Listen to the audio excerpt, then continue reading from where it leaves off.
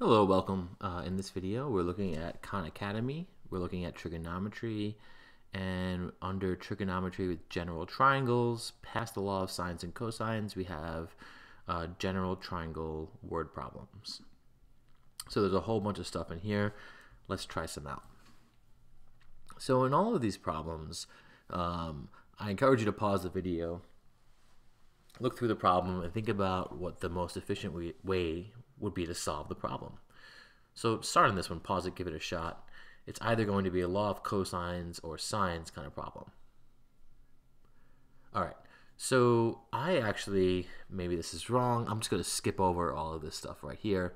Um, I notice I have a diagram, and they have, even though they've written this long problem that I don't feel like reading, they've given us a really nice diagram to work with, and this question mark tells me I'm solving for this angle right here. And the one thing I'm going to do, uh, I'm going to note that we're given three sides, right? We're given a side and a side and a side. So this first example, I'm going to write this down, is a side, side, side situation. And that means I'm going to use the law of cosines. Now don't worry, you don't have to memorize that. If you try and use the law of sines, you could try it out. I encourage you to do that if you're, if you're not convinced try and find a way to set this up using the law of, of sines. You can't do it. Without any angles, there's not enough information to set it up. So the next thing I'm going to do is I'm going to rename this from T. Now you don't have to do this part, but it helps me. I'm going to name it B. And this is C. Cross that out. So um, I know I'm interested in this angle, angle C. And that means that this is going to be side C this is going to be side B, and this is side A.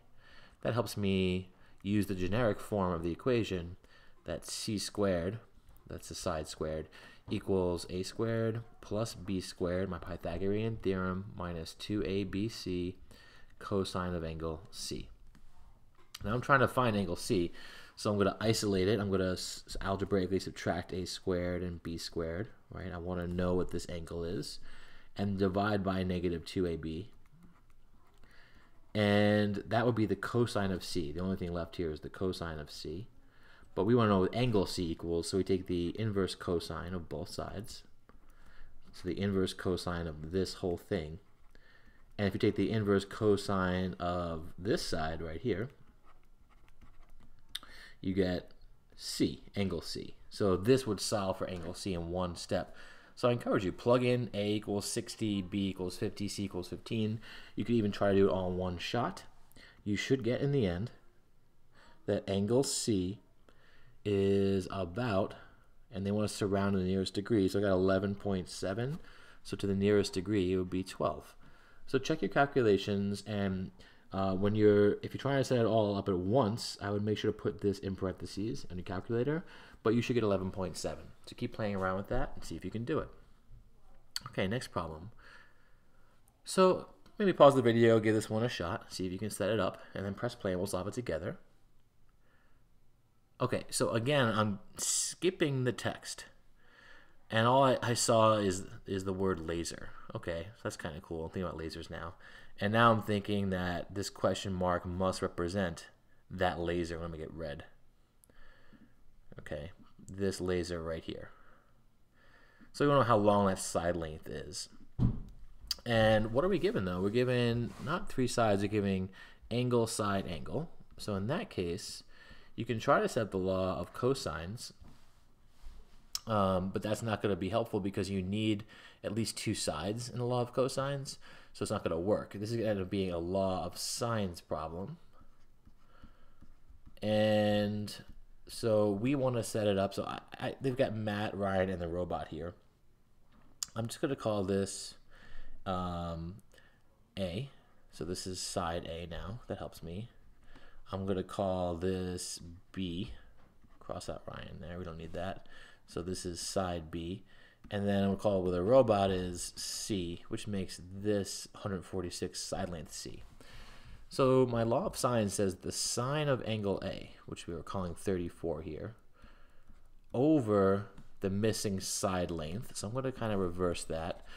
I, for my law of sines, I'm going to put, remember law of sines, I'm just going to write out sine of A over A equals the sine of B over B. The big capital letters are angles, the lowercase in the bottom are side lengths equals the sine of C over C.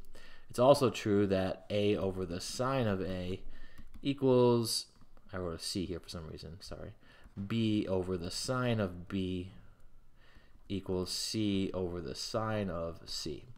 I'm going to use this version right here because we're missing a side length. I like to keep my unknowns in my numerator. So side length A, the laser path, over the sine of 34 has to equal, now you can't use this angle because you're also missing the side length here, right? So if you try setting it up, you get B over the sine of 120. you got two variables to solve for, it's not going to work. So we have to use our third angle in our triangle, and that's this angle right here has to be the full triangle degree, 180 minus 120 minus 34. So the sine of C is really just the sine of that expression, 180 minus 120 minus 34. And then, but we have side length C is 146. So take a moment trying to solve that. You should get that uh, A in this case is 186 to the nearest meter. And that makes sense in terms of this problem. You've got 146 here. You can imagine that this might be longer. It might be 186. Okay, hope that helped. Let's go to the next one. So again, pause it, take a minute, try and solve it. Okay, so we've got, what do we have here? Side, angle, side. So side, angle, side, it's going to be a law of cosines problem. And we're trying to find this missing side right here.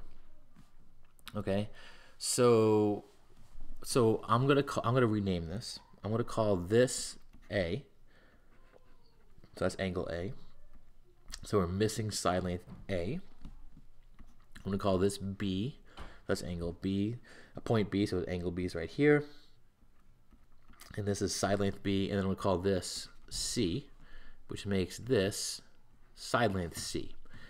And I want to find the side A. So A squared equals B squared plus C squared minus 2BC cosine of angle A. This is the law of cosines set up in such a way that we can solve for side A. And to find a, we're going to take the square root, right, of b squared plus c squared minus 2bc cosine a. And take a moment, plug in the values of b, c, and a. Make sure you're in degree mode. Pause it if you don't want, don't want to see the answer. But to the nearest tenth, you should get 25.6. So in these problems, I try to identify, again, what I'm given to that steers me towards the law of cosines or sine, law of sines. I try to relabel my triangles using A, B's, and C's, and then I go from there. And that strategy tends to work in these problems. Like in this one right here, take a moment, give it a shot, and then press play when you're ready to solve it with me. I like this problem because uh, I don't have to read the text. Is that wrong? I don't know. But the idea is I need to find this side length. I know it because there's a question mark there. I also know it's an angle side angle problem, so I'm going to be able to use my law of sines. Law of sines. And I'm going to call, I like that they labeled it AB, and this will be C. So here, the sine, uh, well, side length A is my unknown. I'll put that up top. Divided by the sine of angle A, which is 96 has to equal, it could be, we could try and write b over the sine of b, but we don't have sine length b, so that information is missing, so we have to use this angle here. So side length c we have, okay, it's 145, and you, you want to use what you have. And the sine of c, that angle, has to be the full triangle measure, 180 minus the two angles we have, 96 and 58. So I encourage you to take a moment, solve this proportion. What you would do solve for a is you'd have the sine of 96.